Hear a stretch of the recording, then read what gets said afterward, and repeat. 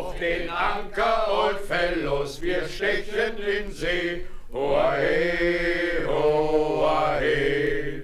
Am 23. Dezember des Jahres 1787 lichtete auf der Rede von Spithead in England ein Dreimaster die Anker.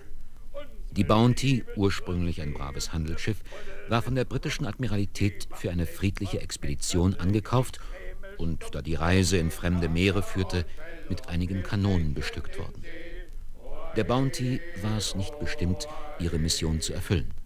Und trotzdem sollte sie als Schauplatz und Ausgangspunkt der abenteuerlichsten Geschehnisse zum berühmtesten Schiff der englischen Marine, ja der Welt überhaupt werden. Drei ungewöhnliche Menschencharaktere prägten und bestimmten diese sehr romantischen Begebenheiten. Zuerst einmal der grausame Kapitän Bligh, der aber in der Not sich als ein tüchtiger Seemann bewährte. Dann der leidenschaftlich auf das Menschenrecht, auf die Freiheit pochende Empörer Fletcher Christian, der mit der Fahrt nach Pitcairn vielleicht eine noch größere seemännische Tat vollbrachte. Und schließlich Alexander Smith, alias John Adams, einer der Meuterer, der sich zum christlichen Patriarchen und Begründer einer kleinen Kolonie läuterte, der einzige, der sich aus den unheilvollen Verstrickungen löste. Mr. Freier, nachdem die Segel gesetzt sind, lassen Sie sofort die Mannschaft unter dem Hauptmast zusammentreten. Schaffen oben und unten! Kommt und haltet Muster rum! Die Kriegsartikel habe ich euch heute Morgen schon verlesen. Ihr kennt sie also. Jetzt werde ich euch mit dem Ziel unserer Reise bekannt machen. Wir stehen im Dienste seiner großbritischen Majestät und sind beauftragt, nach der Südsee zu segeln, um auf der Insel Tahiti einige tausend Brotfruchtpflanzen mit Wurzelwerk zu laden. Diese sollen wir, so lautet unsere Instruktion, nach Jamaika bringen, damit dieser so nützliche Baum auch dort heimisch werde. Die westindischen Plantagenbesitzer brauchen billige Lebensmittel für ihre Negersklaven. Unsere Reise nach Tahiti und Jamaika mag zwei Jahre und länger währen. Auf jeden Fall ist die Bounty, die von nun an unsere Heimat bildet, für solch eine Zeit und weit darüber hinaus verproviantiert, sodass wir keine Not leiden werden. Vorläufig werden wir also die Türme von Spithead nicht wiedersehen. Jeder von euch tue nun willig und unverdrossen die Pflichten, die ihm der Dienst auferlegt. Mr. Freier, lassen Sie jetzt die Mannschaft im Tagelwerk arbeiten, damit ich die Bande kennenlerne. Schlag deine Reff in die Topfsegel! Verwünscht langsam, wie die Schnecken kriechen die Kerle nach oben. Aber das wird schon besser werden, wenn ich euch erst ein paar Tage auf offenem Meer habe. Kapitän Blei hatte es bald mit der Mannschaft verdorben. Er schien es auch bewusst darauf anzulegen. Matrosen wie Offiziere hatten gleichermaßen unter seinen unbeherrschten Temperamentsausbrüchen, unter seiner tyrannischen Grausamkeit zu leiden. Hoffentlich lässt der Alte uns mal verschnaufen. Ach, was der uns immer rumscheucht. Dabei sind die meisten Segelmanöver überflüssig. Er will uns nur triezen. Ich hatte mir schon lange gewünscht, Tahiti, das viel gepriesene Südseeparadies, kennenzulernen. Wenn ich aber gewusst hätte, dass der Captain solch ein Schinder ist, hätte ich mich nie für die Bounty anheuern lassen. Und wo kommst du her, McCoy? Ich wurde gepresst. Lass uns erstmal auf Tahiti sein und wieder Land unter unseren Füßen fühlen. Da gibt es vielleicht Gelegenheiten, uns dieser blutigen Tyrannei des Alten zu entziehen. Mr. Nelson, der Botaniker, sagte mir, dass das Einsammeln der Brotfruchtschösslinge eine geraume Zeit in Anspruch nehmen wird. Oh ja, schätzt, dass wir mindestens drei Monate damit beschäftigt sein werden. Stellt euch mal vor, ein ganzes Vierteljahr auf Tahiti. Ah, ist das herrlich. Mit dieser Aussicht nehme ich selbst zwei Bleis in Kauf. Ein Trost, dass Leutnant Fletcher Christian uns, wo er nur kann, in Schutz nimmt. Der Blut und Blei ist schon deswegen wütend auf ihn. Die dritte Wache sofort an Deck. Es tut mir leid, Jungs, dass ihr schon wieder ran müsst. Da die Männer nicht sofort an Deck waren, konnte Kapitän Blei wieder einmal mehr seine schlechte Laune an Fletcher Christian auslassen. Wo bleibt denn die Verstärkung? Ah, da seid ihr ja endlich, faule Halunken. Natürlich, Mr. Christian. Ins Vordertagewerk mit euch, Bande. Soll ich euch Beine machen? Mr. Freier, geben Sie dem Schlotterkerl dem Quindel einen ordentlichen Hieb in die Rippen. Sehen Sie nicht, wie langsam der Halunke sich bewegt? Sir, die Matrosen waren den ganzen Vormittag in der Takelage. Sie sind erschöpft. Was, Leutnant Christian? Sie sprechen für diesen jämmerlichen Schuppen, der mit Absicht wer die Schnecke kriecht? Er bekommt die neunschwänzige Katze zum Auffrischen. Alle Mann hoch und herunter! Alle sammeln unter dem Hauptmast! Steuerleute, bitte den Kerl an den Baum! So scharf ist die Brise noch nicht. Ich werde euch schon Beine machen. Na los! Geht's ihm! Oh!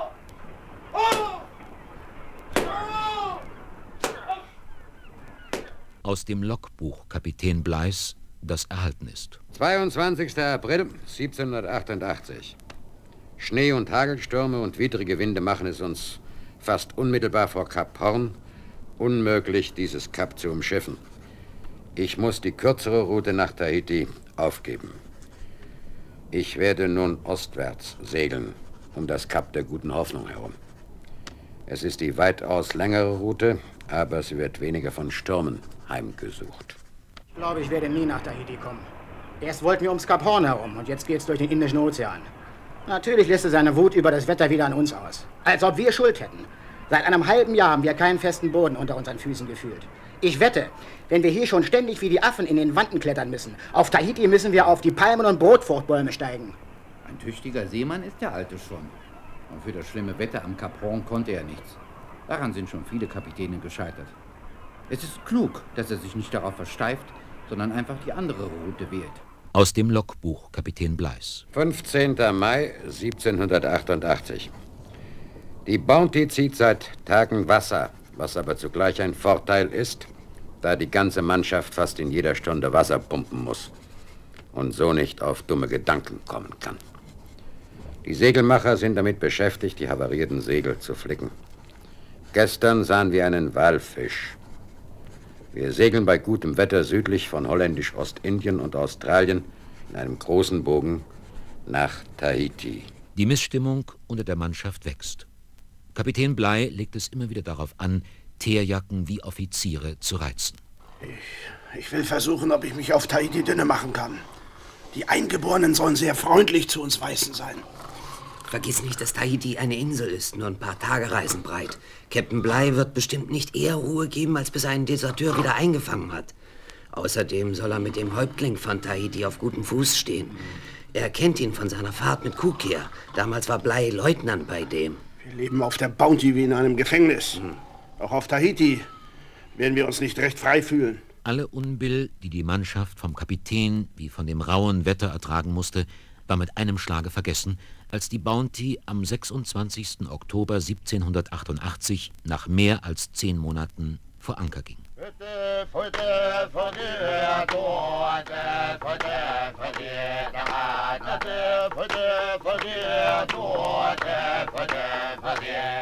Großer Häuptling Tu, kennt ihr mich noch? Ich habe euch von unserem großen König George eine Botschaft und Geschenke zu überbringen. Tu ist erfreut, seinen weißen Bruder Blei wieder auf Tahiti begrüßen zu können. Er dankt dem großen weißen König für seine Geschenke.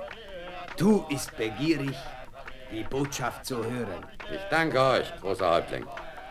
Unser König bittet euch, uns zu erlauben, dass wir von den vielen Brotfruchtbäumen einige Pflanzen mitnehmen dürfen, die auf eurer gastfreundlichen Insel in Hülle und Fülle wachsen damit wir sie auf unseren Inseln anpflanzen können. Als Erinnerung an Tahiti und seinen großen Häuptling Tu. Unser König möchte, dass viele seiner Untertanen von diesen wundervollen Früchten kosten können. Er hat seinen Gärtner Nelson mitgeschickt, der dafür Sorge tragen soll, dass die kleinen Pflanzen auf der langen Reise unterwegs nicht welken. Tahiti ist groß und besitzt unzählige Brotfruchtbäume. Meine weißen Brüder nehmen so viele Bäume, wie ihr Schiff nur tragen kann. Aber erst lasst uns Palmwein trinken und Schweinefleisch, Kokosnüsse und Brotfrüchte speisen. Die Festtafel ist bereits gerichtet. Schon in den nächsten Tagen begann die Mannschaft mit dem Umpflanzen der Bäumchen. Um Gottes Willen, Matrosen, geht vorsichtig mit den zarten Pflanzen um. Transportiert sie ganz langsam an Bord. Ich will sie gleich in Kästen mit frischer Tahiti-Erde pflanzen. Hoffe, dass sie in wenigen Tagen Wurzeln schlagen. Mr. Nelson, im Vertrauen. Hoffentlich schlagen die Pflanzen nicht sofort Wurzeln. Keine Sorge, Young. So schnell geht es nicht mit dem Einsammeln und erst recht nicht mit dem Eintopfen. Uns gefällt es hier nämlich bannig gut. Wir wollen uns erst einmal ein bisschen auf Tahiti erholen. Ach, ich brauche mehr als tausend Stück. Es kann leicht ein halbes Jahr dauern. So schnell geht es also nicht nach Jamaika. Und nun haltet mich nicht auf. Ich muss schnell an Bord und aufpassen, dass die ersten Pflanzen ordnungsgemäß eingetopft werden. Ich möchte mein ganzes Leben hier auf Tahiti zubringen. Wie ich die Eingeborenen beneide. Ach, idyllischer können Adam und Eva im Paradies nicht gelebt haben. Die Insulaner brauchen nicht zu arbeiten. Alles Nötige für den Unterhalt wächst ihnen von selbst in den Mund. Auch unser Bluthund scheint von dem sanften Klima Tahitis angesteckt zu sein. Erstaunlich, dass er uns hier in Ruhe lässt. Vielleicht fürchtet er, dass wir desertieren könnten. Na, ich möchte es nicht darauf ankommen lassen. Dafür ist der Alte mit Häuptling Tu zu dick befreundet. Wartet nur ab. Wenn wir wieder auf hoher See sind, fühlt er sich sicher und wird alles doppelt und dreifach nachholen. Er wird uns dann tüchtig kujonieren. Die neunschwänzige Katze, die er mir zu kosten gab, werde ich ihm schon heimzahlen. Mein schönes braunes Mädchen hat mir geraten, hier zu bleiben und mich zu verstecken. Sie kennt den Schinder nicht. Mensch, dieses Paradies sollen wir verlassen? Unvorstellbar. Wenn auch die Mädchen auf unserer Seite sind. Der Häuptling hält es mit Blei. Ich habe schon Umschau gehalten. Im Landesinnern gibt es hohe, unwirtliche Gebirge, die bestimmt genügend Versteck bieten. Aber schließlich ist Tahiti nur eine Insel. Und wenn Blei mit Offizieren und Matrosen und der Häuptling mit seinen Kriegern sie durchkämmen, sind wir geliefert. Hinter dem Gebirge gibt es einen anderen eingeborenen Stamm, der bestimmt nicht so zuvorkommend ist wie unsere Gastgeber. Im Gegenteil, die Stammesangehörigen sollen, wie übrigens die meisten Südseeinsulaner, noch Kannibalen sein. Auch unsere netten Tahiter waren es noch vor knapp 100 Jahren. Ah, da ziehe ich es vor, mir lieber mal von Blei das Blut abzapfen zu lassen, als irgendwo im Kochtopf zu landen. Vorläufig haben wir hier noch ein paar Monate Galgenfrist. Leutnant Christian hat auch Feuer gefangen. Die Tochter des Häuptlings läuft ihm nach. Und er ihr. Er könnte also ruhig desertieren. Sein Schwiegersohn wird Häuptling Thun nicht ausliefern. Glaubst du, dass ein Offizier desertieren wird? Warum nicht? Wie der von Captain Bligh vor versammelter Mannschaft runtergeputzt wird. Der Blutsauger fordert ihn geradezu heraus. Auf die Dauer wird es nicht gut gehen. Herr Blei würde die ganze Insel Kopf stellen, wenn Leutnant Christian verschwindet. Ein Offizier kann nicht desertieren wie eine einfache Blaujacke. Mensch, Jungs, da kommen unsere Mädchen. Lassen wir die Brotbäumchen. Jungs, gehen wir mit den Schönen ein bisschen singen und tanzen. Nach vier Monaten hieß es Abschied nehmen von Tahiti.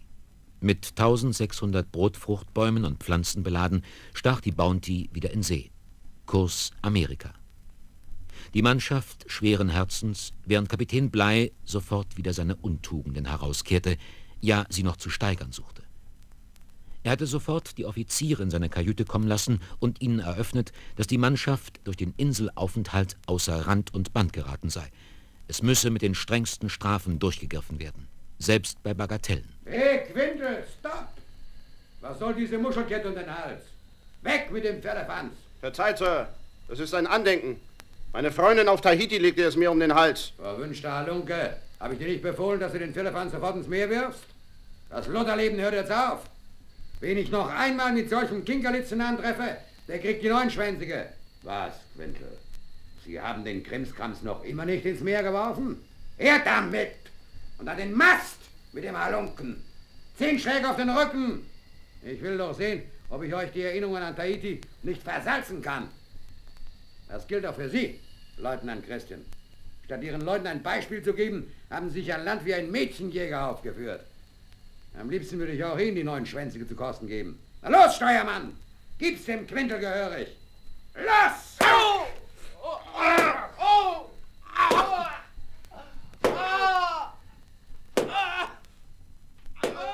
Es blieb nicht nur bei diesen Schlägen. Die Zustände an Bord der Bounty wurden von Tag zu Tag schlimmer und unerträglicher. Die dritte Wache an Bord. So viel, Leutnant. Da träumt man von Tahiti. Und wenn man aus seinen Träumen gerissen wird, findet man sich in der Hölle wieder. Ah, nicht für ungut, Leutnant. Es richtet sich nicht gegen euch. Ich weiß, Smith.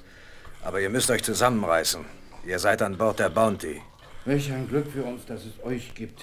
Ihr behandelt uns wie Menschen. Aber für euch ist es ein Unglück. Ich möchte mit Verlaub nicht in eurer Haut stecken, Leutnant Christian. Der Captain hat es auf euch abgesehen. Je weiter wir uns von Tahiti entfernen, desto blutgieriger wird er. Ich glaube selbst, dass ich unter Captain Bligh meines Lebens nicht mehr sicher bin. Ich weiß, er will mich fertig machen. Er wartet nur darauf, mich ins Eisen zu legen. Er demütigt mich, wo er kann. Vergesst nicht, Leutnant, dass wir auf eurer Seite sind.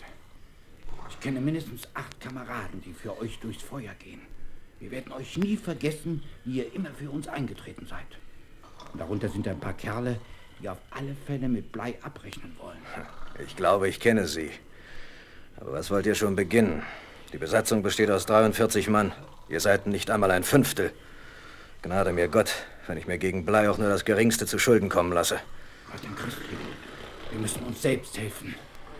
Seine Tyrannei bringt auch die geduldigsten Männer in Wut. Aber zum offenen Widerspruch würden sie sich nicht aufraffen. Kerle wie Quintal, McCoy und auch Williams brennen darauf, dem Kapitän an die Gurgel fahren zu können. Es muss nur einer den Anfang machen. Dann Gnade Gott, Captain Bly. Rechnet darauf. Ihr seid nicht allein, wenn ihr dem Kapitän gegenüber tretet. Ich weiß. Aber Smith, was wir geredet haben, verstößt gegen die Kriegsartikel. Wir sind verloren, wenn es irgendjemand erfährt. Also vergesst es. Verschließen wir es tief in uns. Sagt niemanden, dass ich euch angehört habe. Denn das allein wäre schon ein todeswürdiges Verbrechen, dass ich davon keine Meldung gemacht habe. Also schweigen. Gute Nacht, Smith. Gute Nacht, Leutnant Christian. Bereits auf der nächsten Wache, es war die Nacht des 27. April 1789, war Fletcher, der sich von Kapitän Bleis Rachsucht verfolgt fühlte, fest entschlossen, den entscheidenden Schritt zu tun. Er wusste, dass er mit seinem bisherigen Leben abschließen musste und dass es für ihn keine Rückkehr nach England mehr gab. Es blieb ihm keine andere Wahl. Smith, alles in Ordnung? Alles in Ordnung. Eine wundervolle Mondnacht. Leutnant, Sie sind unsere einzige Hoffnung. Selbst Sie Hasenherzen, die noch zu feige sind, etwas zu unternehmen, blicken auf euch. Wenn Sie sich auch nicht offen zu uns bekennen, so werden Sie bestimmt nicht gegen uns auftreten. Auch Sie wissen, dass Blei uns keine Wahl lässt. Wir sind 18 Mann, die es darauf ankommen lassen wollen. Quintel und McCoy sind sowieso kaum zu bremsen. Gut.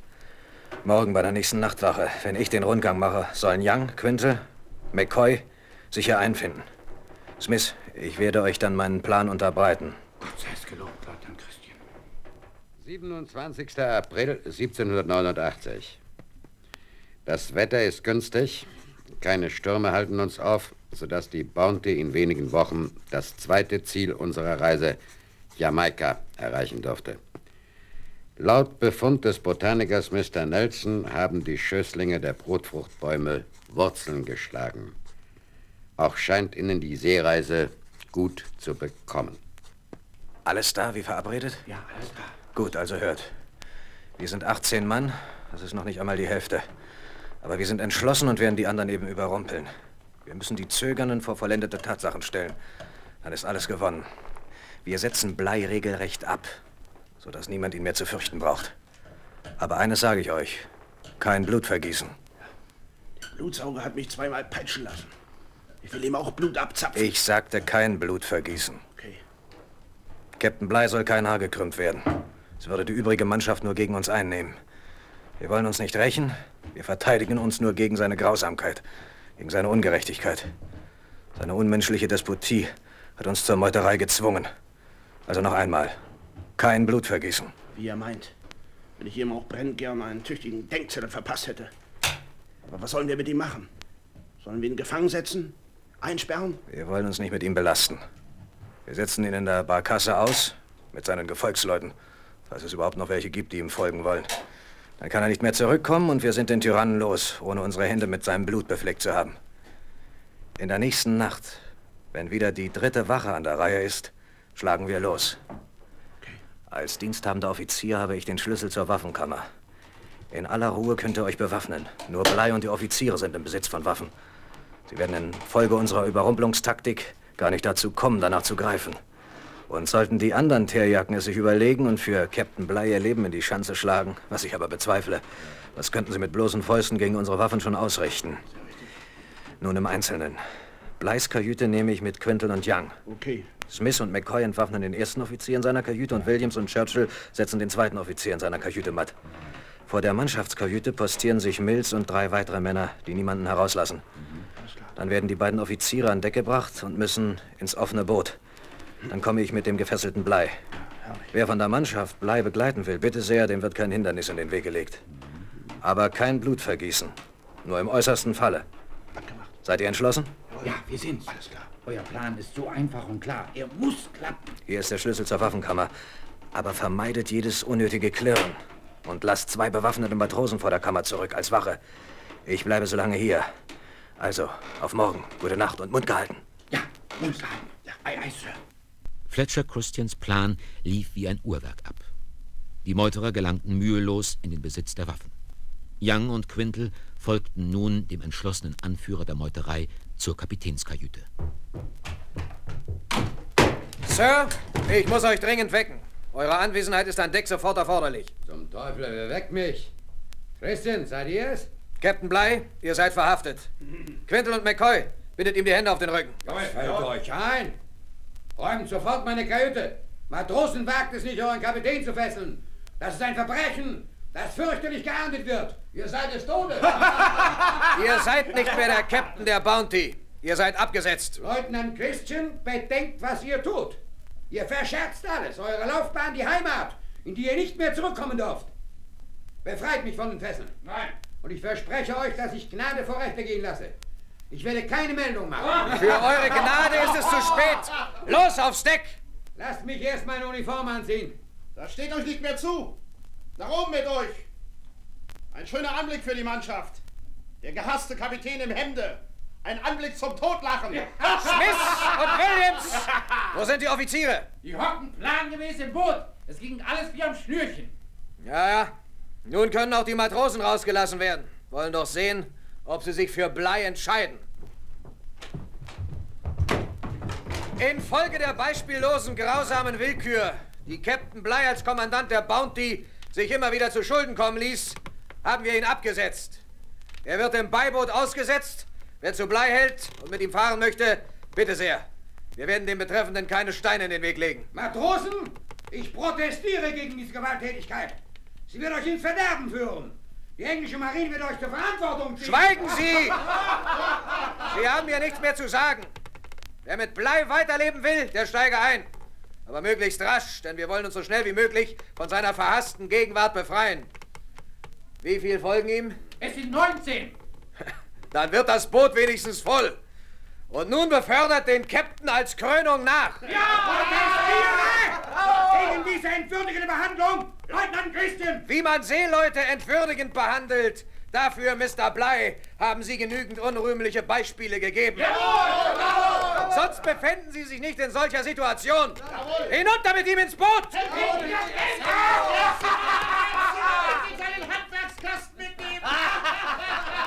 Meinetwegen. Aber die beiden anderen Zimmerleute müssen hier bleiben. Die brauchen wir. Das Boot kann Segel und Tauwerk mitnehmen. Verproviantiert sie auch mit einem Fass Wasser, einem Sack Zwieback, etwas Fleisch, Rum und Wein.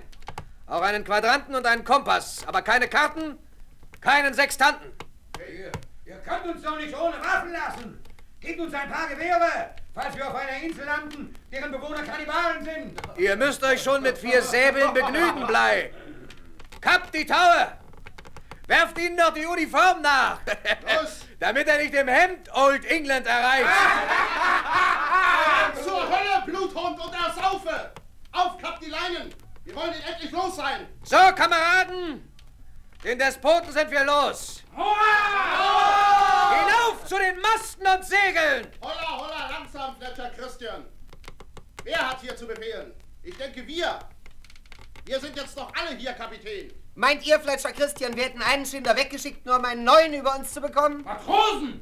Seid ihr verrückt? Einer muss kommandieren, wenn wir nicht alle zugrunde gehen wollen. Wer hat den Plan der Meuterei so fein ausgetüftelt, hey? Dann sei lieber du, Smith, unser Kapitän. Du bist der Klügste von uns und kannst schwatzen wie ein Schwarz. Ja! Seid ihr denn Matros? Nein, ihr seid des Teufels! Habt ihr so wenig Krötze im Kopf? Glaubt ihr, ein Matrose kann ohne weiteres ein Schiff lenken? Was verstehe ich denn von Peilung? Nicht mehr als der Stübermast. Haha, lesen kann ich wohl, aber nicht die Seekarten. Ich sage euch, Leutnant Christian muss unser Kapitän werden. Sonst rasen wir geradewegs in die Hölle, in die Arme des Teufels. Und wenn ihr nicht meiner Ansicht seid, dann könnt ihr auf Alexander Smith nicht mehr rechnen. Ich rühre dann keine Hand mehr für euch. Das ist goldrichtig, das hat Hand und Fuß. Und es war höchste Zeit, dass es ausgesprochen wurde. Ich bin der Meinung von Smith. Jawohl. Hoch, Hoch, Christian. Vielleicht habe ich aber keine Lust mehr, euch zu kommandieren. Meint ihr, ich dränge mich danach, einem solchen wetterwendischen Haufen Anordnungen zu erteilen, ohne Sicherheit für die Zukunft zu haben? Glaubt ihr, ich wäre einem Übel entflohen, um mich einem zweiten und vielleicht noch größerem Unheil auszuliefern? Erst müsst ihr mir Bürgschaft geben. Ja, was verlangt ihr? Sagt es doch. Zunächst gelobt mir, solange wir auf den Planken der Bounty sind, Gehorsam, Disziplin. Zweitens, ihr verleiht mir das Recht, meine Offiziere zu ernennen. Offiziere sollten wie der Kapitän selbst in allgemeiner Wahl bestimmt werden. Ich bin für Quintel. Hagel und Flammen, wollt ihr euer Maul halten? Ihr seid noch nicht dran! Ich bin der Meinung, dass Captain Christian, der für die Bounty verantwortlich ist, sich seinen Offizier selbst aussucht. Wir sind auf Gedeih und Verderben auf ihn angewiesen. Wer mit mir einer Meinung ist, stelle sich zu mir. Ja, recht, ja, ja. Er soll es alleine machen. So mache ich von dem mir zugestandenen Recht Gebrauch und mache Smith zu meinem Offizier. Ruhe! Wir kommen jetzt zu einer wichtigen Frage. Wohin sollen wir steuern? Ja, dahin möchte ich auch am liebsten. Vergessen wir aber nicht, dass diese Rückkehr große Gefahren für uns birgt. Sollte Blei westwärts die holländische Kolonie Timor erreichen oder unterwegs ein anderes Schiff antreffen, dann wird er sofort englische Kriegsschiffe auf uns hetzen, die übrigens von der Admiralität sowieso ausgeschickt werden, wenn die Plantagenlords auf Jamaika vergebens nach der Bounty Ausschau halten. Und man wird zuerst auf Tahiti Nachforschungen anstellen. Aber vorläufig dürfen wir uns in Sicherheit wiegen, wenn auch nur für ein paar Monate. Ich bin dafür, fürs Erste nach Tahiti zurückzufahren. Ja, bravo! Unsere Frauen an Bord zu nehmen und von dort aus eine unbekannte Insel zu suchen. In die Segel! Unter dem Jubel der Mannschaft nahm die Bounty Kurs auf Tahiti. Die fröhliche Fahrt wurde aber schon bald von Sorgen überschattet. Oh, Susanna, wie ist das Leben schön. Übers Jahr kommt nicht so. Wer ist da? Captain Christian. Hier ist Smith. Ich muss Sie dringend sprechen. Na, herein in Gottes Namen. Was ist denn schon wieder los? Ein paar Unzufriedene stecken die Köpfe zusammen. Die beiden Zimmerleute haben sich mit einigen Teerjacken verabredet. Sie wollen sich der Bounty bemächtigen und uns Redelsführer gefangen nehmen. und alle anderen würden dann straffrei ausgehen. Ach, diese Dummköpfe. Am liebsten möchte ich mit ihnen nichts mehr zu tun haben. Aber ich bin durch Pech und Schwefel mit ihnen verbunden. Ich bin alles andere als frei. Ich überlege nur, wie wir den englischen Verfolgern, die unfehlbar auf unsere Spur gesetzt werden, entrennen können. Auf Tahiti wird unseres Bleibens nicht sein können. Aber schick sofort die Männer, die zuverlässig sind, unauffällig zu mir, hier in die Kapitänskajüte. Sehr gut, Sir. Wir warten schon darauf. Wir sind sofort hier.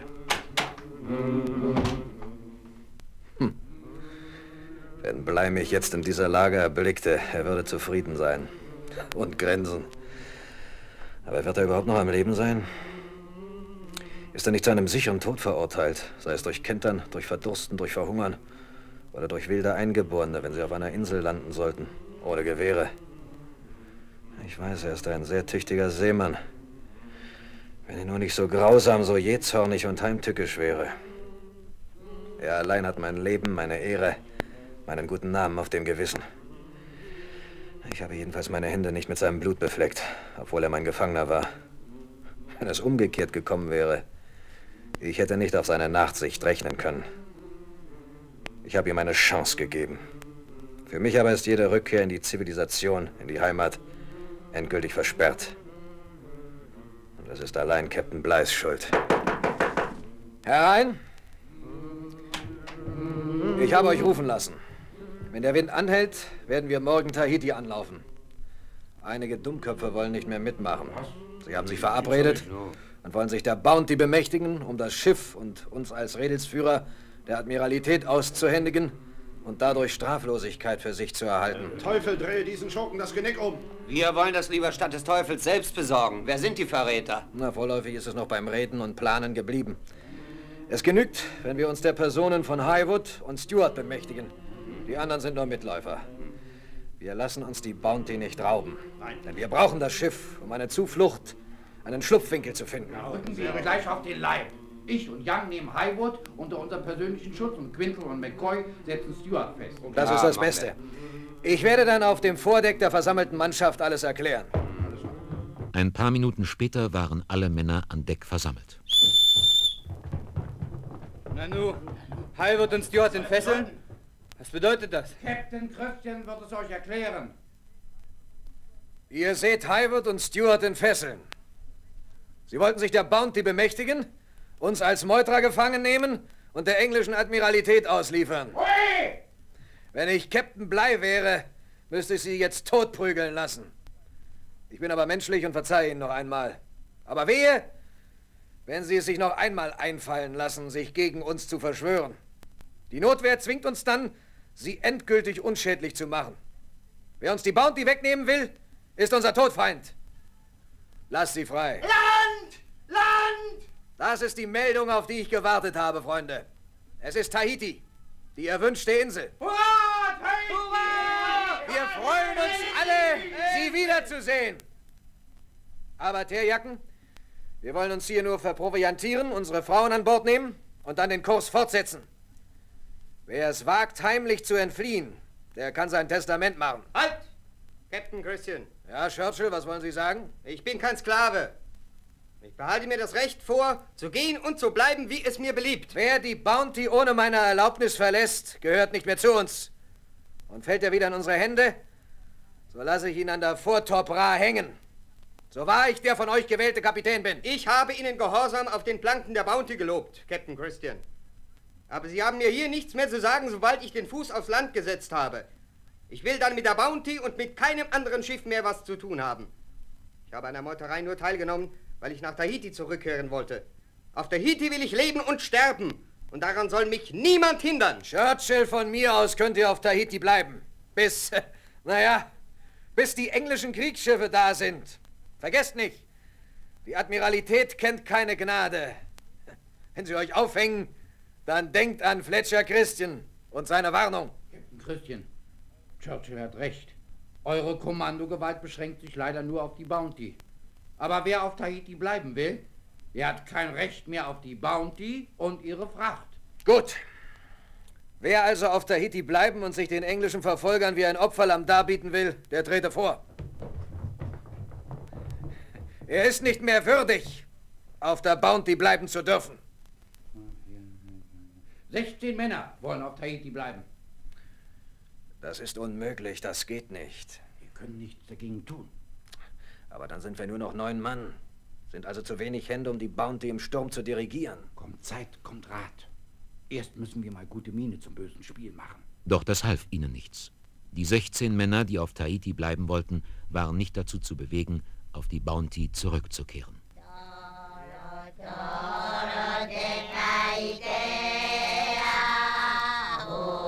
Sie sind unbelehrbar.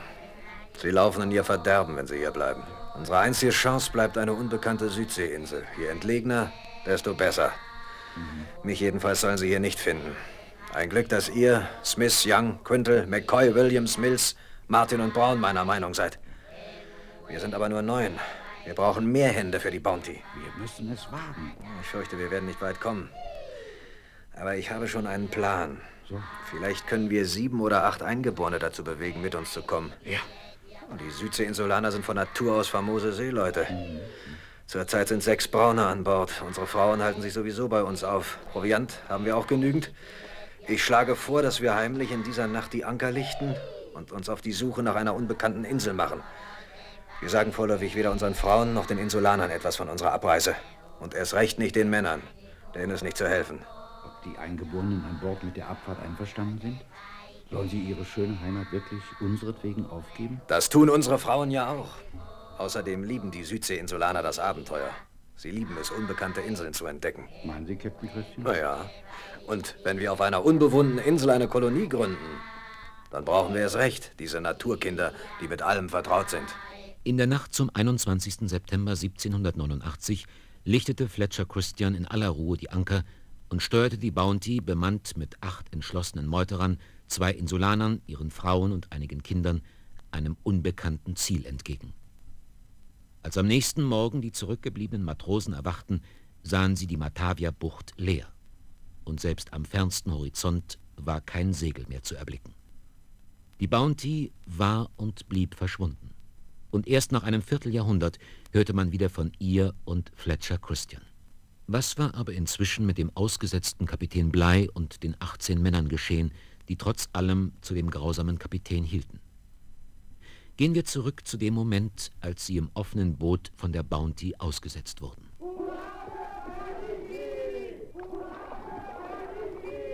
Wohin steuern wir, Sir? Wie wir hören, nehmen die vermaledeiten Schurken Kurs auf Tahiti. Dorthin können wir also nicht zurück, wenn ich auch mit Häuptling Toh befreundet bin. Was schlagen Sie vor, Mr. Freier? Ich weiß es nicht, Sir.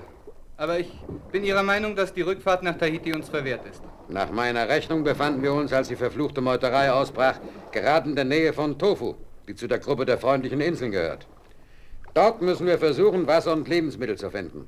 Denn von dem Bissen Proviant, den uns die Schurken Gnedis mit auf den Weg gegeben haben, können wir keine fünf Tage leben. Das ist wohl die Absicht der Meuterer.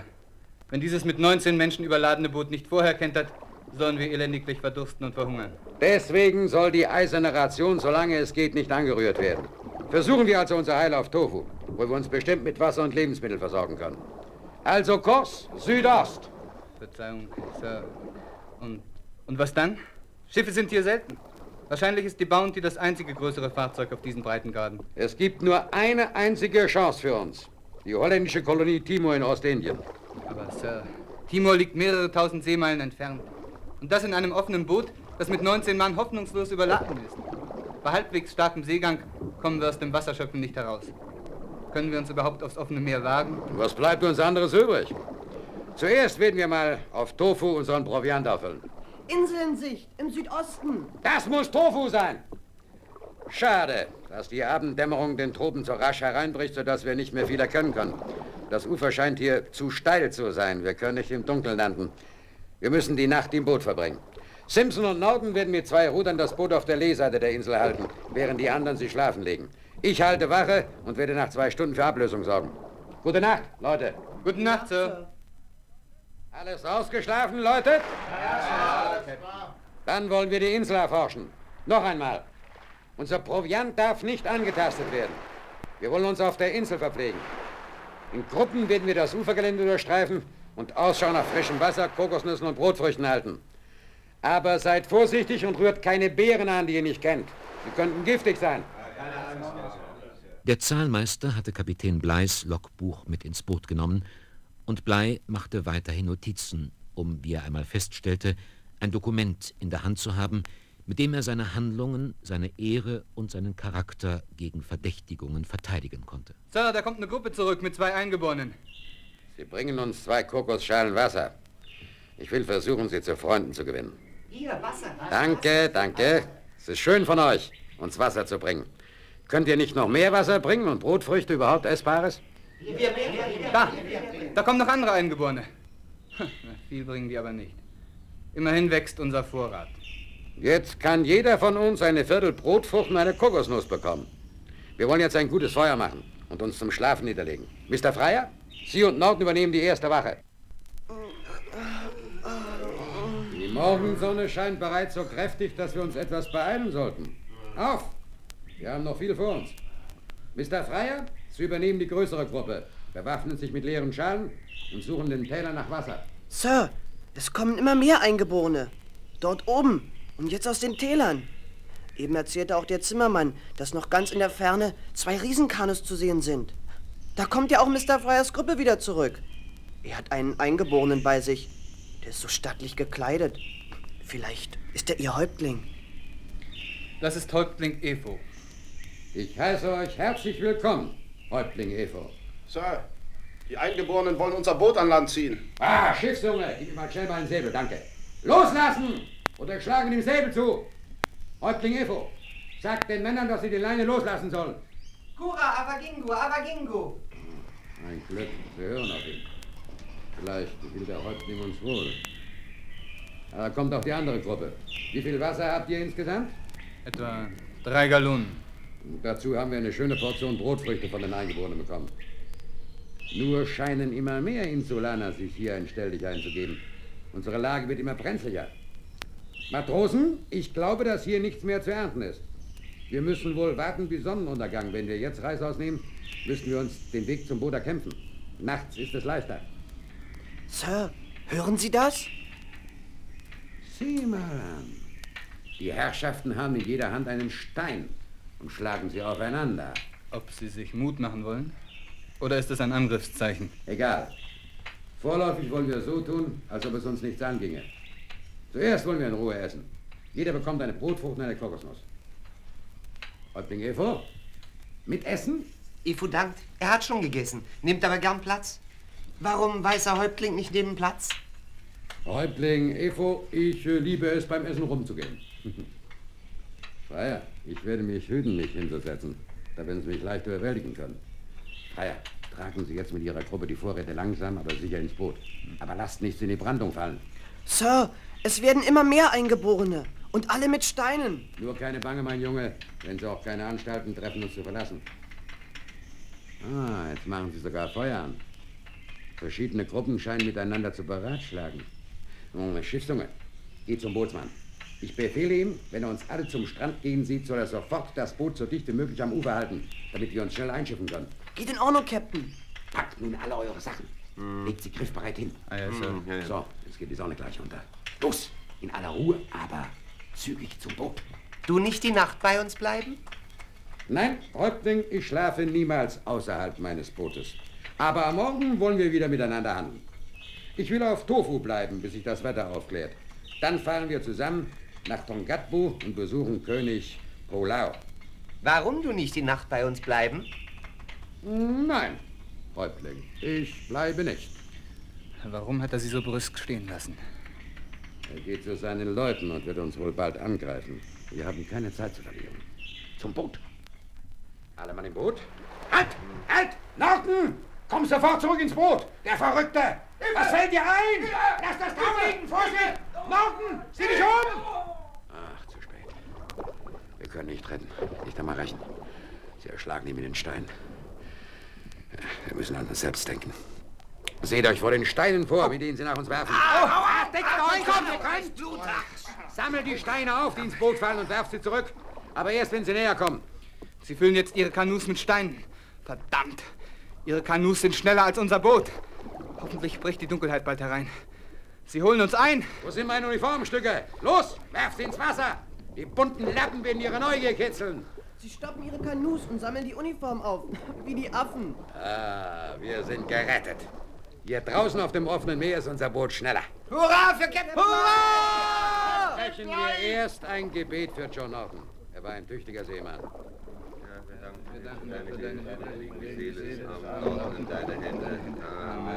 Amen.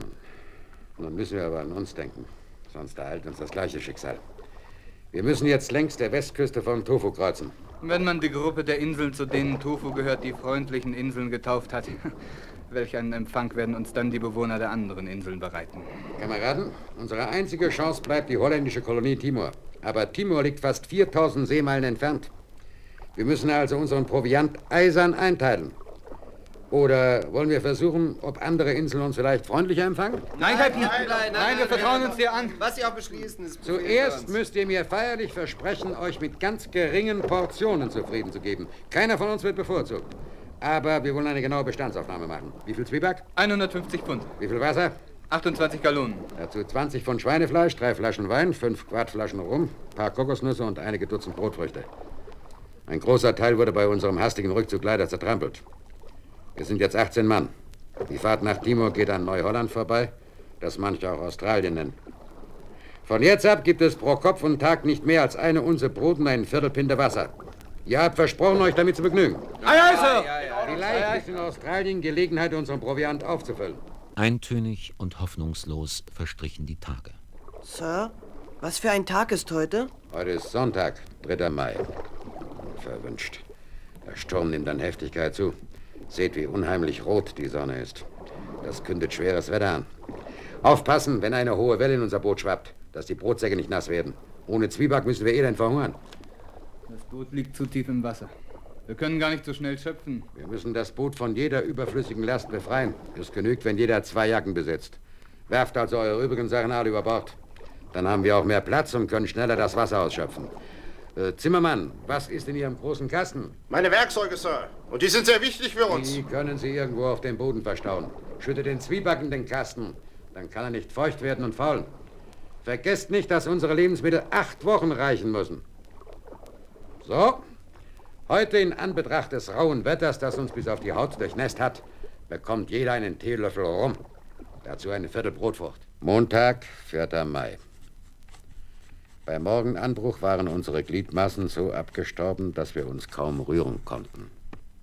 Ich servierte daher jedem einen Teelöffel rum, der Wunder wirkte. Zum Mittagessen zerteilte ich fünf kleine Kokosnüsse und alle waren zufrieden. Im Laufe des Tages sahen wir ein Dutzend Inseln, wir näherten uns aber keiner. Zur Nacht servierte ich ein paar zertrampelte Brotfruchtstückchen und hielt das Gebet. So, wo sind wir eigentlich? Wir passierten heute zwei Inseln. Das kann ich ohne Karte auch nicht sagen. Ich weiß nur, dass wir wie geplant Kurs auf den Norden von Neuholland halten. Das Schlimmste ist, Sir, dass wir nachts aneinander gepresst wie eingepückelte Heringe unsere Glieder nicht richtig ausstrecken können. Und dagegen kann etwas getan werden. Eine Hälfte von uns wird jetzt immer Wache halten, während die andere Hälfte ausgestreckt auf dem Boden schlafen kann. Wenn nur die Nächte nicht so nasskalt wären. Nach ein paar Stunden Schlaf können wir uns kaum rühren. Sir, von der Insel kommen zwei große Kanus. Die wollen Jagd auf uns machen. Aber wir sind schneller. Vielleicht haben sie gar keine bösen Absichten. Möglich. Aber nach unserem traurigen Abenteuer auf Tofu habe ich keine Lust, es auszuprobieren. Jetzt fängt zu allem Unglück auch noch zu regnen an. Unsere Sachen werden nie trocken. Unglück? Ein großes Glück ist es, Junge. Jetzt können wir unseren Durst wie im Schlaraffenland stillen. Vor allem können wir unseren Trinkwasservorrat auffüllen. Ah, wie das blattert. Ah, Leute, seid ihr noch durstig? Haha. Seht mal, viele Gallonen Wasser haben wir geerntet. Sonnabend, 17. Mai. Das andauernd stürmische Wetter halte ich für einen Segen, geschickt von der Vorsehung.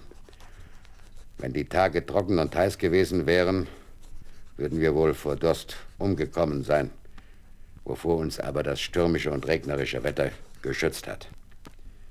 Jeder beklagt sich und einige forderten Extrarationen, die ich aber hart abgelehnt habe. Welcher Tag ist heute, Sir? Sonntag, der 24. Mai. Der Himmel scheint sich endlich einmal aufzuklaren. Zum ersten Mal seit 15 Tagen scheint die Sonne. Heraus aus unseren nassen Kleidern. Ach, welch eine Wohltat. Na los, hängt eure Kleider zum Trocknen auf. Sir, was machen Sie denn da? Seht mal alle her. Ich habe zufällig 25 Pistolenkugeln in dem Boot gefunden. Leider haben die rebellischen Schurken uns keine Pistole gelassen. 25 Kugeln wiegen genau ein Pfund oder 16 Unzen. Bisher habe ich immer nach Augenmaß verteilt. Jetzt wird eine Kugel das Gewicht der Brotmenge exakt angeben, die jedem von uns täglich zusteht. Und niemand kann sich mehr für übervorteilt halten. Zwei Kokosschalen bilden die Waage. Heute gießt es wieder. Die Tropen stehen mir bis dahin. Die zweite Schlechtwetterperiode hielt acht Tage an. Kapitän Blei befahl seinen völlig geschwächten Leuten, ihre nasskalten Sachen auszuziehen und tüchtig im warmen Salzwasser des Tropenmeeres auszubringen. So erreichte der trickreiche Kapitän, dass seine Männer sich bewegten und dadurch wieder langsam erwärmten.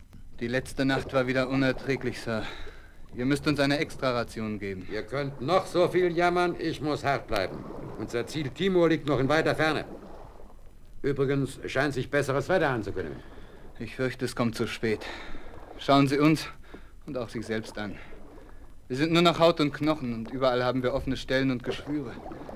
Wir sind am Verhungern. Ach, lassen wir erst mal die warme Sonne auf unsere geplagten Körper scheinen, dann werden wir weitersehen. Da sind Vögel. Sie fliegen auf unser Boot zu. Ah, es sind Bobis und Norris. Sie kündigen Land an. Endlich einmal brauchen wir nicht mehr Wasser zu schöpfen. So ruhig ist die See. Zimmermann, reichen Sie den Brotkasten her. Ich will sehen, wie viel Brot wir noch haben. Wenn wir bei unserem täglichen Quantum bleiben, reichen wir 29 Tage. Und bis dahin hoffe ich, Timor zu erreichen.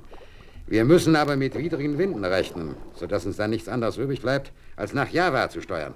Das bedeutet, wir müssen unseren Vorrat so einteilen, dass er für sechs Wochen reichen muss. Jeder erhält ab heute ein 25. Pfund Brot zum Frühstück, dieselbe Menge zum Mittagessen. Wenn wir die Abendportion auslassen, reicht unser Vorrat 43 Tage. Seid ihr einverstanden? Die Noddies kommen ziemlich dicht ans Boot heran. Vielleicht können wir einen fangen. Ja, natürlich. Haltet mal den Mund. Wir wollen sie nicht erschrecken. Da, Junge, greif zu. Ich hab ihn, ich hab ihn. Komm, gib her. Er wird gleich in 18 Teile zerlegt. Und diese werden nach dem bekannten Spiel Wer soll dies haben verlost. Schiffsunge, dreh dich um mit dem Rücken zu uns. Ich werde jetzt auf eine Portion deuten und du nennst deinen Namen, wer sie erhalten soll. Wer einen Fuß oder Kopfteil erhält, hat Pech. Aber anders geht es nicht. Die Soße zu unserem rohen Steak bildet das Salzwasser. Also, wer soll dies haben? Ich! er hat Angst, dass er sich auslässt. Guten Appetit, Junge! Donnerstag, 28. Mai. Ich gewann die Gewissheit, dass wir uns Neuholland näherten. Die Gewissheit wurde bestätigt. Nachdem wir das große Riff passiert hatten, befanden wir uns in glattem Gewässer. Zwei Inseln lagen vor uns. Die nahe Insel stellte sich aber als ein Haufen Steine heraus. Wir fuhren zur zweiten. Wir landeten und untersuchten, ob Eingeborene in der Nähe seien. Wir sahen alte Feuerstellen, aber nichts, was auf eine unmittelbare Gefahr deutete. Jeder war bestrebt, etwas Essbares zu finden. Bald wurde entdeckt, dass Austern an den Felsen klebten, denn es war Ebbe. Aber es wurde dunkel, sodass nur ein paar gesammelt werden konnten. Freitag, 29. Mai. Allem Anschein nach waren keine Wilden zu befürchten. Ich schickte verschiedene Gruppen aus, die Lebensmittel suchen sollten, während andere das Boot reparieren mussten. Die Gruppen kehrten bald freudig zurück. Sie hatten viele Austern und Trinkwasser gefunden. Mit einem kleinen Vergrößerungsglas machte ich ein Feuer an. Welch ein Glück, Zimmermann, dass ihr von der Bounty auch euren Kupfertopf mitgenommen habt. Mit etwas Schweinefleisch, etwas Brot und den Austern werden wir uns jetzt ein saftiges Steak bereiten, das jedem verwöhnten Feinschmecker munden dürfte. Kapitän, es duftet bereits herrlich. Hoffentlich werden wir hier unsere ständigen Schwindelgefühle los. Wir können kaum noch gerade gehen. Es ist mir ein Torkeln.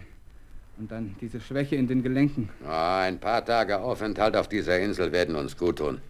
Ach, ist das herrlich, hier im Sande sich so richtig ausstrecken zu können. Sir, die Austern kleben so fest, dass wir sie nur mühsam vom Felsen ablösen können. Es ist einfacher, sie an Ort und Stelle zu öffnen. Und in den Sandtälern zeigen dichte Schilfbüschel an, wo der Boden feucht ist.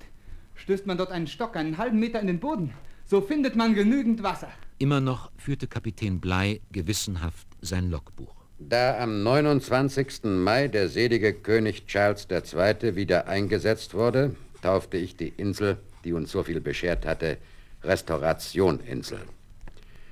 Unser kurzer Aufenthalt, nicht zuletzt die Austern und das Wasser, hatten in unserem Befinden wie in unserem Aussehen eine sichtliche Besserung bewirkt. Als wir uns am nächsten Morgen zur Abfahrt rüsteten, tauchten vom gegenüberliegenden Ufer 20 Eingeborene auf, die auf uns zuliefen mit unverständlichen Schreien. Jeder war bewaffnet mit einem Speer oder Lanze, dazu trugen sie in der linken Hand eine kleine Waffe. Sie machten uns Zeichen, zu ihnen zu kommen, aber ich hielt es für klug, ins Boot zu steigen und weiterzufahren. Sie waren nackt und völlig schwarz und ihr Haar buschig und kurz. Auf der Fahrt längs der Nordküste Australiens berührten die Ausgesetzten viele kleine Inseln. Als Blei einmal landen ließ und Trupps nach Lebensmitteln ausschickte, weigerten sich verschiedene Matrosen mit der Begründung, sie hätten bereits schwerer als ihre Kameraden gearbeitet, sie wollten lieber ohne Essen bleiben. Hey, Zimmermann, was ist? Wollt ihr den Trupp nicht begleiten? Ein Mann, der so geschickt mit der Axt umgehen kann, ist für dieses Unternehmen genau der Richtige. Das weiß ich. Aber ich sehe nicht ein, dass ich überall dabei sein muss. Da heißt es Zimmermann hier, Zimmermann dort. Ich bin genauso gut wie ihr und vielleicht noch ein bisschen praktischer. Alle brauchen meine Axt und mich obendrein. Was fällt ihm ein, Schurke? Ich bin und bleibe euer Kapitän. Und wer sich mir in den Weg stellt, der soll mich kennenlernen. Ich bin der Kommandant. Wenn ihr genauso gut sein wollt, bitte, hier ist ein Säbel. Ich nehme auch einen. Und nun zeigt, was in euch steckt. Seid ihr nun manns genug, um euch zu stellen? Na los, ergreift den Säbel. Ah, ihr habt wohl Angst, euch zu verteidigen. Hilfe!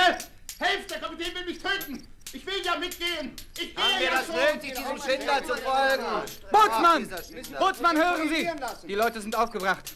Ich glaube, wir müssen Captain Bly unter Arrest stellen. Was, Mr. Freier? Sie fallen mir bei der Ausübung meiner Pflichten den Rücken, wenn ich für Ordnung und Disziplin sorge? Ich schwöre Ihnen, wenn Sie mich weiterhin dabei stören werden, muss ich und werde ich Sie als Ersten töten. Verzeihen Sie, Sir. Ich habe mich hinreißen lassen.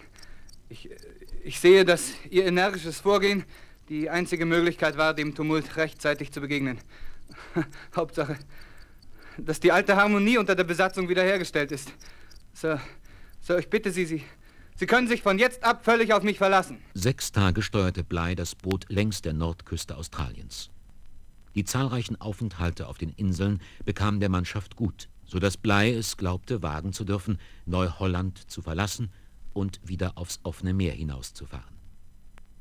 Er stellte der Mannschaft in Aussicht, dass sie Timor in acht bis zehn Tagen erreichen würden.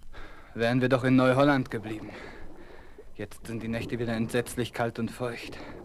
Sir, Sie haben vergessen zu bedenken, dass wir in der Südsee damals noch in besserer körperlicher Verfassung waren als jetzt. Die paar Aufenthalte auf den Inseln reichen nicht aus, um uns wieder fit zu machen. So schwach haben wir uns noch nie gefühlt. Schlafen, schlafen. Aber ist man erst einmal eingenickt, schreckt man im nächsten Moment wieder auf. Ich weiß nicht. Ich verstehe alles so schwer und oft gar nicht. Ich begreife manches nicht, was gesprochen wird. Stört meine Berechnungen nicht. Ich glaube mich nicht zu irren, wenn ich behaupte, dass wir den Meridian passiert haben, der durch den Ostteil von Timor geht. Kameraden, eure Leidenszeit hat ein Ende. Wir müssen bald Timor sehen. Am nächsten Morgen, es war Freitag, der 12. Juni, wurde Timor gesichtet. Kapitän Bligh hatte es mit beispielloser Willenskraft und mit nicht minder großer seemännischer Geschicklichkeit verstanden, das überladene offene Boot nach einer entbehrungsreichen Fahrt von 41 Tagen über 3618 Meilen an das Ziel zu bringen. Vier Überlebende erlagen bereits auf Timor ihren Leiden. Ein Matrose starb auf der Heimfahrt nach England, während ein anderer es vorzog, auf Timor zu bleiben. Mit elf Überlebenden landete Kapitän Bligh am 14. März 1790 in England. Wenn die Admiralität ihm auch eine Rüge erteilte wegen seiner Härte, alle Welt war voll von Bewunderung, voll Lob über seine Fahrt im offenen Boot. Bligh wurde zum Schiffskommandanten befördert.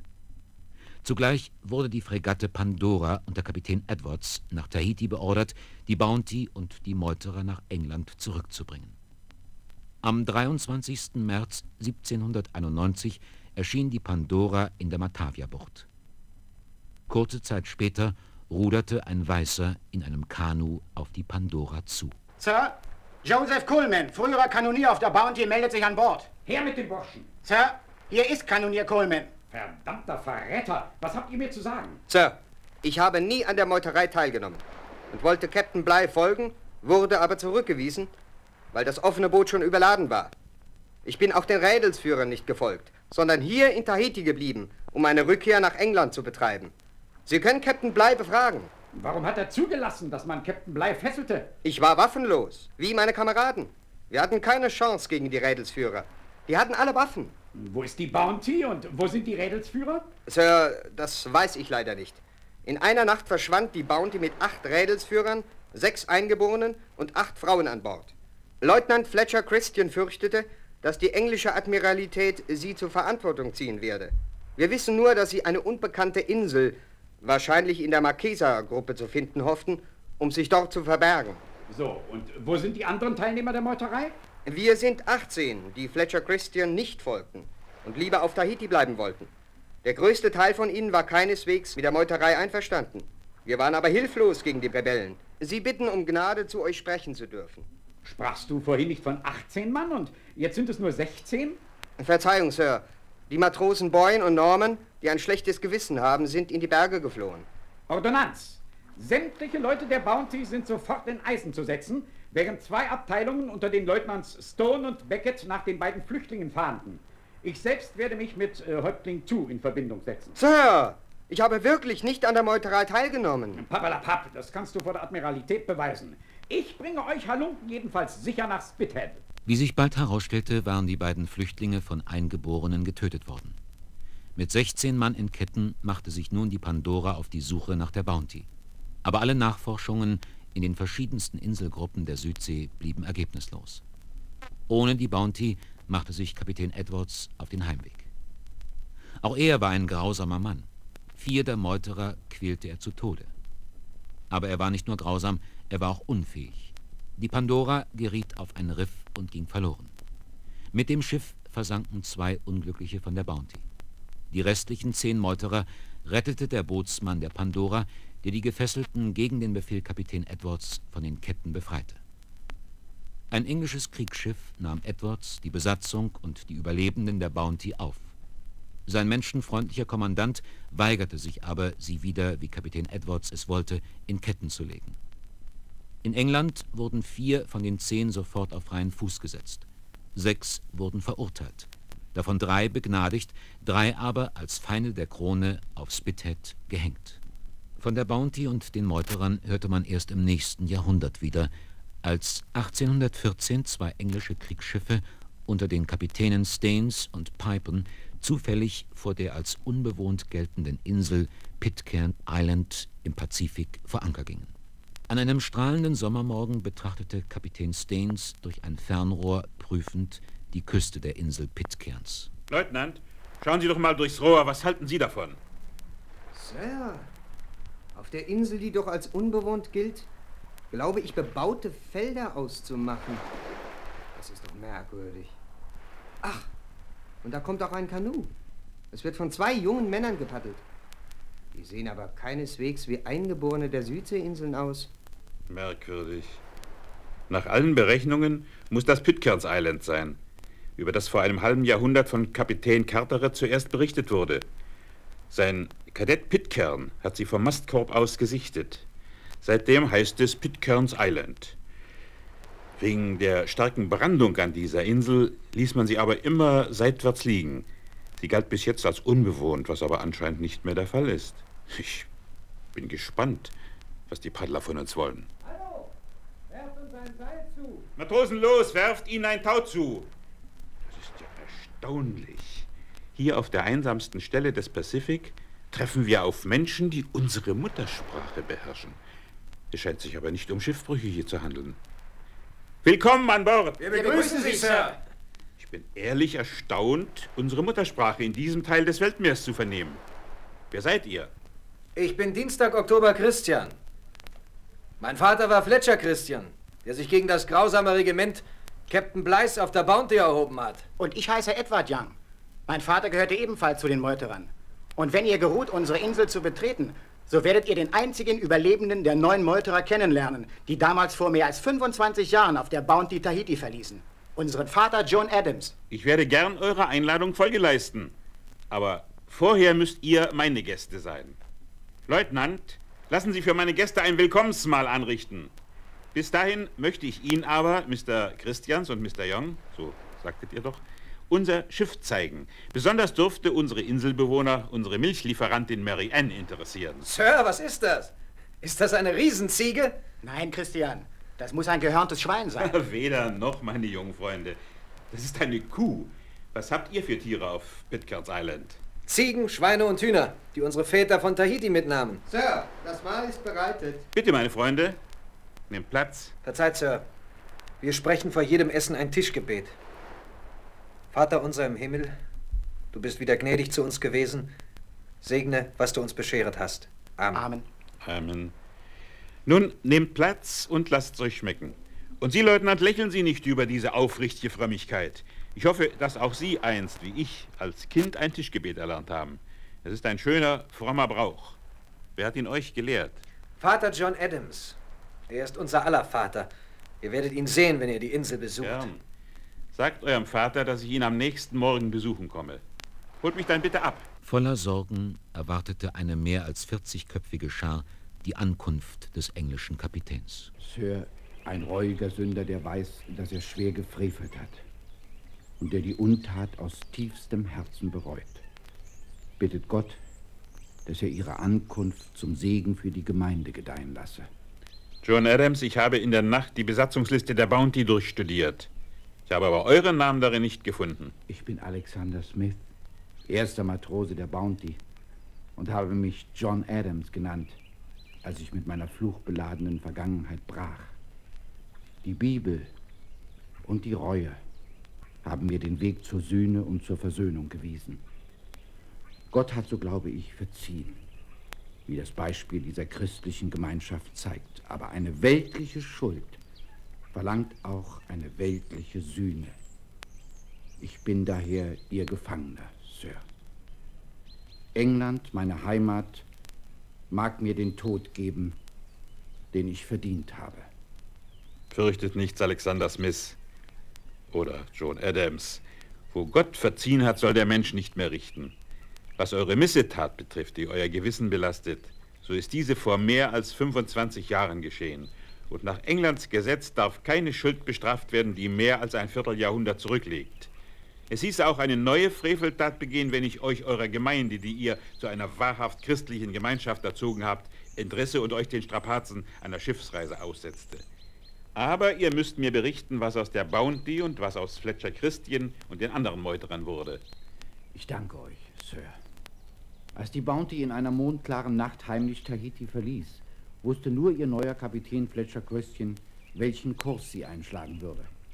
Ich erinnere mich noch heute, nach 25 Jahren, wie Kapitän Christian uns damals alle auf Deck versammelte und uns unsere Lage genau erklärte. Kameraden, ihr seid mir gefolgt, weil ihr meiner Meinung seid, dass wir auf Tahiti eines Tages von den englischen Spürhunden gefunden werden.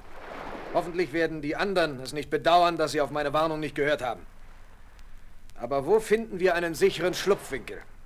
Es kann nur eine entlegene, unbekannte Insel sein. Können wir einen solchen Unterschlupf nicht auf der Inselgruppe der Marquises oder den freundlichen Inseln finden? Die englischen Kriegsschiffe werden diese bekannten Inselgruppen Stück für Stück durchstöbern. Ich erinnere mich aber, in einem Reisebericht des Captain Carteret um 1760 gelesen zu haben, dass er auf einer Reise, die ihn von Valparaiso in die Südsee führte, im Pazifik, weit vor dem Eintritt in die Südsee, eine einsame Insel passierte, die er nach dem Kadetten, der sie vom Mastkorb aus entdeckt hatte, Pitcairn Island taufte. Wegen der gerade herrschenden starken Brandung landeten sie nicht. Diese Insel, die abseits der großen Routen liegt, wollen wir uns einmal ansehen. So machte uns Fletcher Christian, ein Mann von seltener Belesenheit, auf dieses abseits gelegene und versteckte Eiland aufmerksam, von dem wir bis dahin kein Sterbenswörtchen gehört hatten. Als Schlupfwinkel musste Pitcairn für uns wie geschaffen sein. Aber Wochen, Monate lang suchten wir vergeblich nach dieser Insel. Viele Kameraden, vor allem Quintel und McCoy, verloren die Geduld und spotteten über Fletcher Christians Fantasieinsel und wollten Christian zwingen, seinen Plan aufzugeben. Aber Edward Young und ich, wir standen zu Fletcher Christian. Ich habe nie unter einem besseren Captain gedient. Nach mehr als drei Monaten, wir hatten nur leere Wasserwüste um uns gesehen, tauchte plötzlich in der Ferne ein Bergkegel auf. Alles jubelte. Bald stellte es sich heraus, dass Pitcairn ein idealer Schlupfwinkel war, auf dem sich herrlich und in Freude leben ließ. Kokosbäume gab es in Fülle und andere Obstbäume und Gemüsepflanzen. Und Brotfruchtschösslinge, die nicht vertreten waren, hatten wir von Tahiti mitgebracht. Am Anfang ging noch alles gut. Zum ersten größeren Konflikt kam es aber, als Fletcher Christian uns Meuterer zusammenrief. Kameraden, ihr habt mir Gehorsam und Disziplin geschworen, solange wir auf den Planken der Bounty sind. Ich bitte euch, das zu bedenken, wenn ich euch jetzt zu einem folgenschweren Entschluss raten möchte. Ihr wart mit mir einer Meinung, dass für die englische Admiralität die Bounty sich in Rauch auflösen müsste. Und das hat sie getan, indem wir nach Pitcairn Island segelten. Hier würden aber jetzt zufällig vorbeikommende Schiffe allein wegen der Bounty unsere Insel für bewohnt halten. Wir können die Bounty aber nicht verstecken. Und obwohl meine Kommandogewalt nur auf der Bounty gilt, so bin ich doch dafür, das Schiff zu verbrennen. Nein, Kapitän, muss das sein? Vielleicht in späteren Jahren, wenn Gras über die Sache gewachsen ist und wir nach England zurückkehren wollen, ist die Bounty die einzige Möglichkeit, unser einziges Mittel zur Rückkehr. Wir werden doch nicht so voreilig sein, es zu vernichten. Ich verstehe euch, Young. Aber ihr müsst es euch endgültig aus dem Kopf schlagen, dass die Admiralität uns etwas vergisst. Wir müssen das Beispiel der alten Griechen befolgen, deren Führer, um ihrer ganz sicher zu sein, die Schiffe verbrennen ließen. So müssen auch wir die Brücke hinter uns abbrechen. Wir müssen die Bounty verbrennen. Nicht nur, damit kein fremdes Schiff durch sie auf uns aufmerksam gemacht wird, sondern auch aus dem Grund, dass nicht plötzlich eine Gruppe Unzufriedener mit ihr das Weite sucht und uns in Gefahr bringt. Ja, ja, ja, können wir hängen, aufhängen, aufbaumeln. Gut. So ist abgestimmt? Ja, ja, Bounty verbrennen, verbrennen, verbrennen, verbrennen. Vorher lasst uns aber alle brauchbaren Sachen und Gegenstände an Land schaffen. Noch eines muss ich euch sagen, vor allem Quintel und McCoy. Wir haben Captain Bligh ausgesetzt, weil er uns tyrannisiert hat. Aber einige unter uns benehmen sich den wackeren Eingeborenen gegenüber, unseren großen Helfern, nicht besser. Vergesst nicht, wir sind auf sie angewiesen. Ja, das war vor 25 Jahren, Sir. Als wir auf Captain Christians Geheiß die Bounty in Brand steckten, damit durch sie nicht unser Schlupfwinkel verraten würde. Und noch heute wird mir das Herz schwer, wenn ich an das Schiff denke, das jahrelang unsere Heimat war. Fletcher Christian, der uns selbst den Rat gegeben hatte, die Bounty zu verbrennen, liefen die Tränen über die Wangen. Er wusste, dass damit ein für allemal der Rückweg nach Old England abgeschnitten war. Ich hasse Meuterei und werde sie stets hassen, aber ich gestehe, dass dieser Fletcher Christian einer der fähigsten Seemänner gewesen sein muss, die es je in unserer Marine gegeben hat. Man muss anerkennen, dass er die Meuterei völlig unblutig durchgeführt hat. Vor allem seine Fahrt nach Pitcairn mit einem zusammengewürfelten Haufen mit noch nicht einmal der Hälfte der Besatzung. Das ist eine Leistung, die jederzeit neben Kapitän Bleis Fahrt im offenen Boot genannt werden muss. Aber erzählt weiter. Ich möchte wissen, was mit der Besatzung der Bounty auf Pitcairn geschah. In den beiden ersten Jahren ging es gut, wenn auch der Müßiggang bald um sich griff während die Eingeborenen und die Frauen die Felder bestellten. Dann aber gab ein trauriges Ereignis den Auftakt zu einer Reihe von schmerzlichen Geschehnissen. Meuterer und Eingeborene brachten sich wechselseitig um, bis nur noch zwei Weiße, die Frauen und die Kinder übrig blieben. Wie konnte es auf dieser idyllischen Insel zu so einem Gemetzel kommen? Sir, ein Paradies kann auch zur Hölle werden. Es kommt ganz auf den Menschen an wie es sich einrichtet. Die Frau von Williams stürzte beim Eiersuchen vom Gebirgsufer ins Meer. Williams nahm sich einfach die Frau eines Eingeborenen, was diesen und seine Landsleute erbitterte. Young und ich versuchten vergebens, Fletcher Christian auf die gefährliche Zuspitzung aufmerksam zu machen. Fletcher Christian, wir müssen etwas tun. Die Erbitterung unserer Eingeborenen wächst von Tag zu Tag. Jetzt haben sie sich eines großen Teiles der Waffen bemächtigt. Ach, Young, lasst mich mit euren Unkenrufen zufrieden. Ich will und werde die Eingeborenen nicht hindern, wenn sie es Quintel und McCoy heimzahlen. Ich habe sie mehrmals gewarnt. Aber sie sind doch über euch ergrimmt. Sie tragen es euch nach, dass ihr sie, ohne sie zu fragen, aus Tahiti entführt, aus ihrem heimatlichen Paradies gerissen habt. Ihr seid verantwortlich. Ja, ich weiß. Ich fühle mich schuldig. Aber ich glaube nicht, dass sie es wagen, die Waffen gegen uns zu erheben. Ich hatte nur Kapitänsgewicht auf der Boff gegangen. Und damit hat sich auch meine Kommandogewalt in Rauch aufgelöst. Ich hörte heute, wie zwei Frauen sangen. Und zwar sollte ich es hören. Warum schärft dunkler Mann die Axt? Will er weißen Mann töten? Sie wollten mich warnen. Seid unbesorgt, Smith. Ihr, Young und ich, wir haben sie immer fair behandelt. Sir Fletcher Christian, der an das Gute im Menschen glaubte, war von Young und mir nicht zu belehren. Er widmete sich nur noch seiner Familie.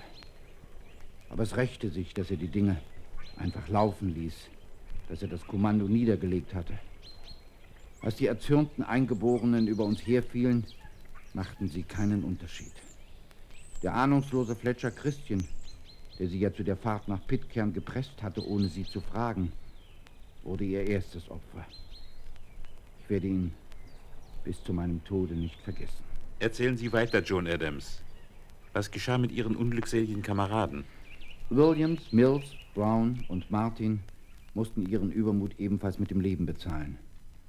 Die Eingeborenen liefen Amok und wurden bis auf den letzten Mann getötet. Nach den sinnlosen und schrecklichen Kämpfen waren nur noch Young und ich sowie Quintal und McCoy am Leben. Die beiden letzten von jeher die bösen Geister der Meuterei errichteten nun auf der Insel ein Schreckensregiment. McCoy, der in einer Schnapsbrennerei aufgewachsen war, gelang es, aus den Wurzeln der Tehi-Pflanze ein starkes Getränk zu destillieren. Quintel assistierte ihm. Wenn sie betrunken waren, mussten wir um unser Leben zittern. Young und ich mussten ständig bewaffnet herumlaufen. Aber eines Tages wurden wir von McCoy erlöst. Gott sei seiner Seele gnädig. Und was passierte dann? Im Alkoholrausch torkelte McCoy auf einen Felsen, band sich einen Stein um den Hals und stürzte sich ins Meer. Jetzt war Quintel ohne Trinkkumpan und fühlte sich als Alleinherrscher von Pitcairn.